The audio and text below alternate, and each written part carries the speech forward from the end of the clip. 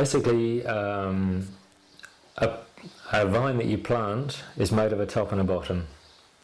The bottom part is known as the rootstock, and that is what is re resistant to a disease that's called phylloxera, which basically wiped out all of the European and a lot of the world's um, vines in the latter part of the 19th century.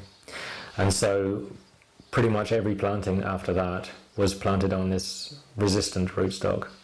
On top of that is grafted um, the variety, whether that's Terret or, Carignan or Syrah or whatever, um, which is basically taking the bottom part, making a, a, cut of various different shapes, there's different styles of doing it, inserting the variety at the top, binding it round so the sap can pass from the bottom to the top.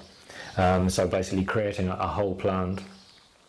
Um, once it's bound round and what's known as um, soude in French, which means it's basically something that's taken becomes a single single entity. Um, it will just become a, a, plant like any other. It's not particular to, to, vines. It happens often with fruit trees as well, with uh, with, with flowering plants as well.